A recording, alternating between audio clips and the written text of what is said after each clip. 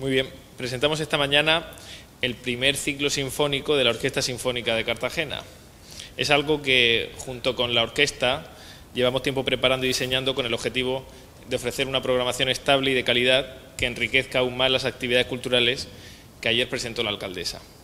Este ciclo es una novedad porque por vez primera ya sabemos y anunciamos los cuatro conciertos de la temporada 24-25 y permitimos así que todos los cartageneros tengan un horizonte y un calendario en el ámbito de la música clásica.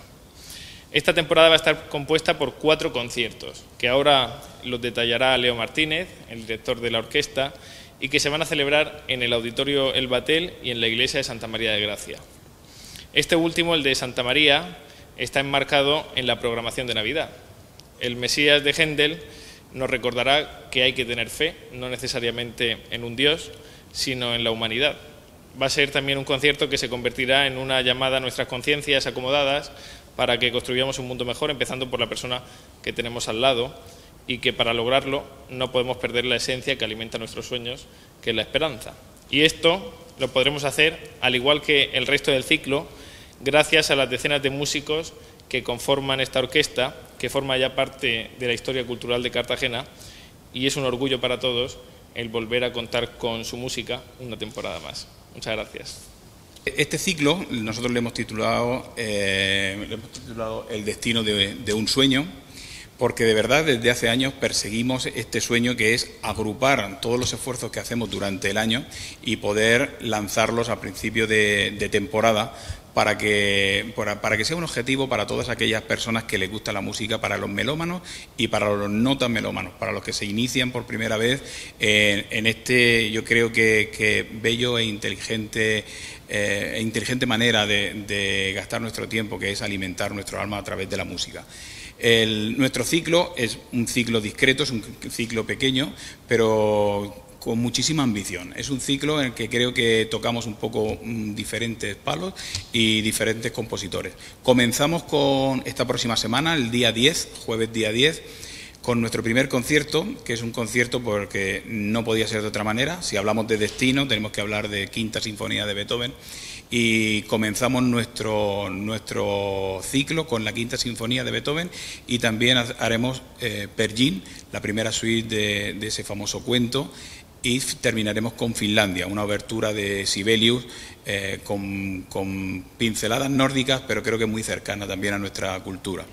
El segundo concierto, como bien ha adelantado nuestro concejal, es el concierto de Navidad. Ese concierto lo sacamos del Batel y nos vamos a Santa María. El año pasado ya hicimos allí una primera incursión y fue muy bien, el público le encantó y creemos que es la mejor manera de dar la bienvenida a la Navidad y aportar nuestro grano de arena a nuestra tradición y a nuestra, a nuestra cultura también. Y haremos Mesías con un gran orfeón, con el Orfeón Discantus de Murcia y unos grandes solistas. El tercero de los conciertos es un concierto que habitualmente también hacemos, que es el concierto extraordinario entre cuerdas y metales, que se celebrará en febrero, el día 6 de febrero, a través también, gracias a la Concejalía de, Juventud.